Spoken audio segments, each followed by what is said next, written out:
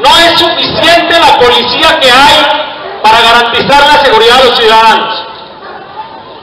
No es suficiente en los equipos. Necesitamos hacer unos nuevos acuerdos para mejorar esa seguridad.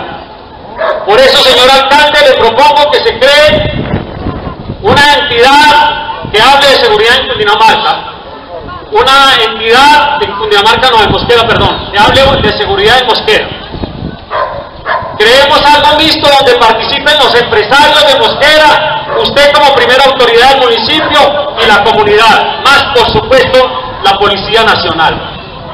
Yo le pregunto a ustedes, queridos padres de familia, si ustedes colocarían 20 mil pesos mensual para mejorar la seguridad de Mosquera, para que salgan tranquilos a la calle, para que sus niños y niñas vayan tranquilos a estudiar o salgan de noche tranquilos.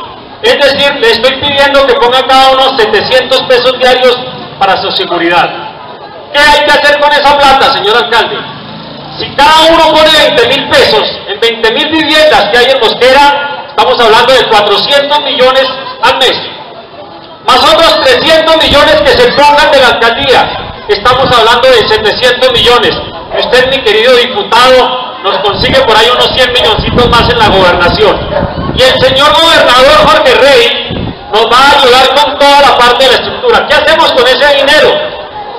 Integramos, convocamos a una serie de personas que viven en este municipio, que han estado en el ejército, que han estado en la policía, para que, se haya, para que haya una seguridad ciudadana.